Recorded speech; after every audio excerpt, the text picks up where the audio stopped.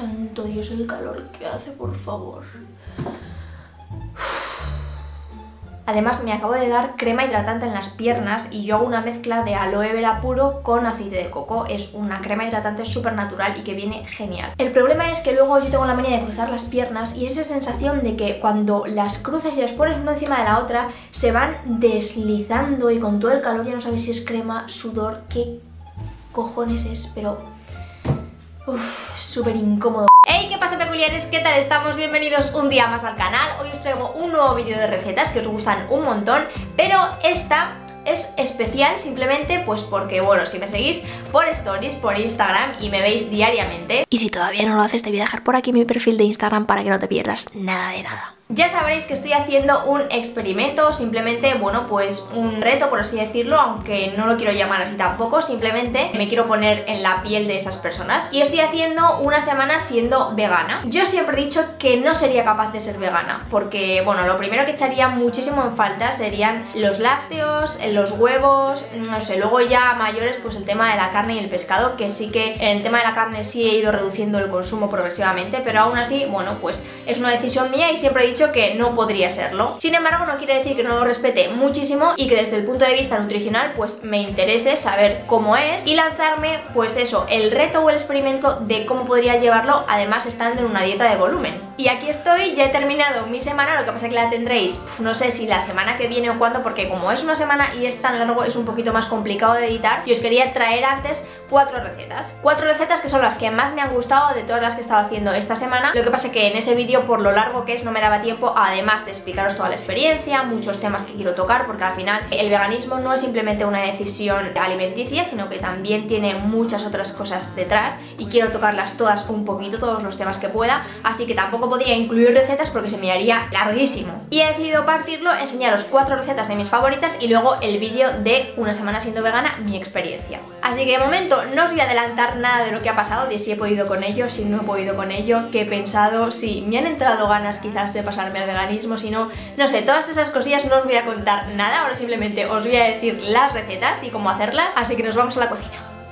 Lo primero que vamos a preparar son unas tortitas veganas, que al final yo siempre estoy acostumbrada a hacerlas con claras o con huevo y cuando he tenido que ir a desayunar esa semana ha sido como, ¿y ahora cómo las hago? Lo único que necesitamos es harina, en este caso yo he utilizado de avena y de almendra, plátanos maduros, un poquito de canela y un poquito de bebida vegetal, que en este caso yo he cogido de soja. Y con eso basta, no necesitamos nada más, así que vamos a por ello. Os digo cantidades y nos ponemos a hacerlas. Por aquí tengo el vaso de la batidora en el que voy a meter 50 gramos de harina de avena mezclado con 20 gramos de harina de almendra. Un plátano maduro, que tengo aquí estos dos para enseñaros que con este, si lo tenéis maduro y a punto de estropearse, va muchísimo mejor, porque va a salir mucho más esponjosa. Este está más blandito, entonces saldrán mucho mejor. Una cucharadita de canela y por aquí unos 75 mililitros de bebida vegetal.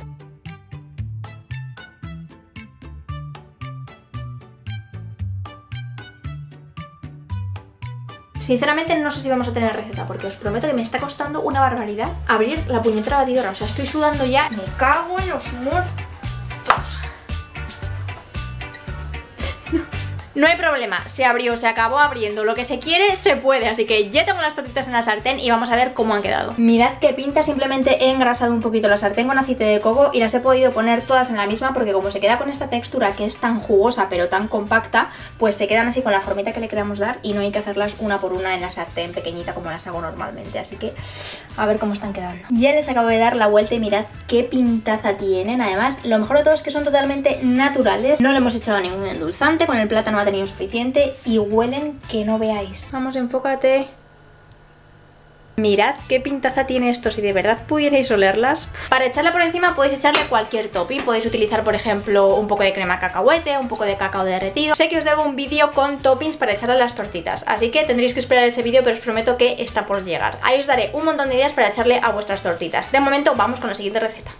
Lo siguiente que vamos a hacer es un plato de quinoa con tofu en salsa de soja que va a estar buenísimo, unas verduritas pochadas, buah, está increíble, es de mis preferidos y es de los que más me ha gustado, así que vamos a por él. Necesitaremos la cantidad que queráis de quinoa cocida, por aquí tengo quinoa blanca y quinoa roja, unas verduritas picadas, calabacín, zanahoria, cebolla morada, un poquito de puerro, unos taquitos de tofu que lo único que he hecho es coger el bloque de tofu, escurrirlo y cortarlo en trocitos, tres cucharaditas de salsa de soja, un poquito de sésamo y aquí las especias que queráis al gusto. Yo tengo cebolla, ajo, perejil y un poquito, muy poquito de jengibre que le da un toque picante buenísimo. Por aquí tengo ya todas las verduritas pochándose con un poquito de aceite de oliva que de verdad no hay mejor ambientador para la casa que este olor, madre mía. Y ahora lo que voy a hacer es poner el tofu a macerar con la salsa de soja con un poquito de agua que le he añadido y le voy a poner las especias que he escogido y luego se lo echaré por encima, lo he puesto así en un cacharrito un poquito más grande para que quede en contacto con el fondo y vaya absorbiendo y después simplemente se lo añadiremos a las verduritas y que se mezclen ahí los sabores un poquito antes de añadir el resto de cosas.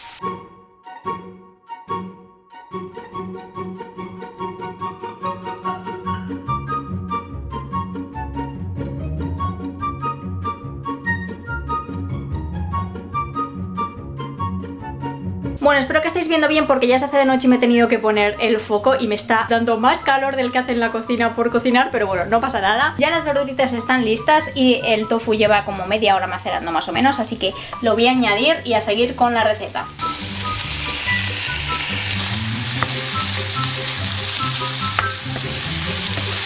Lo vamos a dejar aquí salteando un poquito más y lo último que haremos será añadir la quinoa y lo tenemos. Y mientras se termine de hacer, pues me toca fregar porque esta es la parte que a todo el mundo le toca, pero nadie enseña, así que me toca.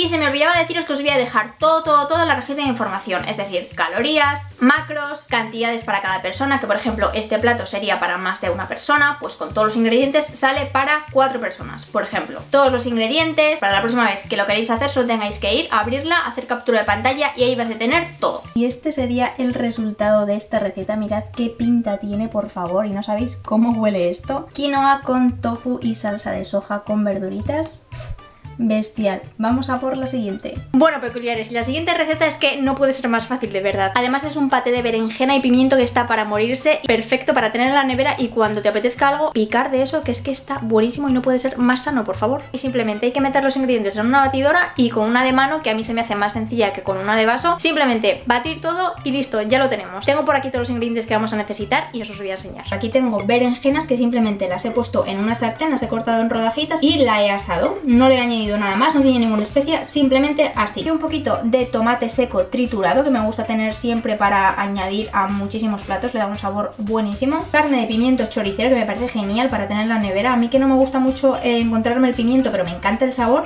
Esto es simplemente carne de pimiento choricero y mirad los valores. Un poquito de aceite de oliva y un poquito de sal en escamas.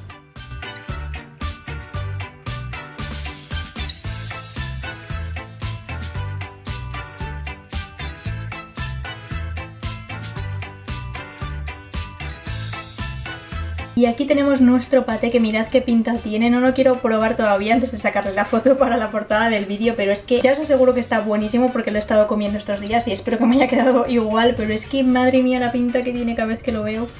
Y vamos ya con la última receta que es de mis preferidas sin duda. ¿Y por qué? Pues porque lleva chocolate.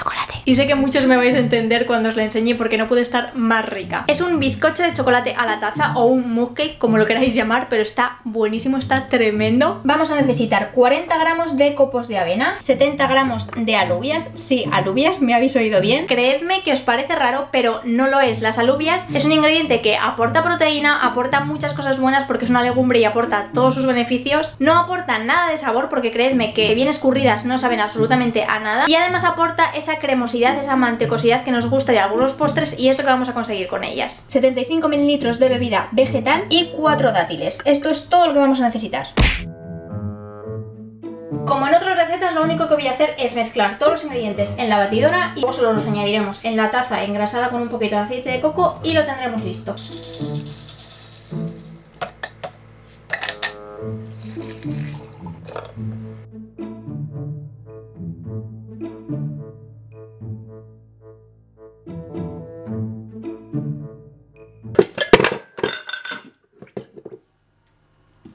Puedo creer. O sea, por favor. Hostia puta, lo estoy grabando.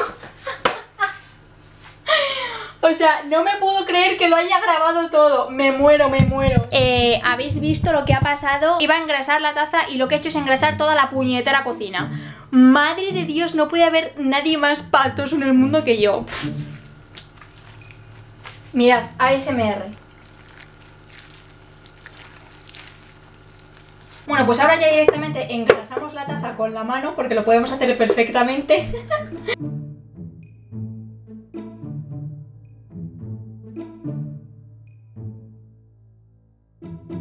Y una vez que ya lo tenemos así, lo metemos en el micro 5 minutitos y estará listo. Mirad qué pintaza tiene. Bueno, mirad cómo acaba de salir del micro, por favor, textura brownie total. Quiero que veáis esto, mirad.